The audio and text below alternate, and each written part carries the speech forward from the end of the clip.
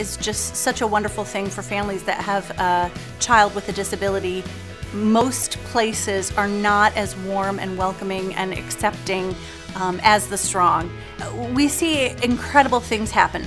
We see social skills emerge. We see independence emerge. For a family that has a child with autism, those little things are absolutely huge.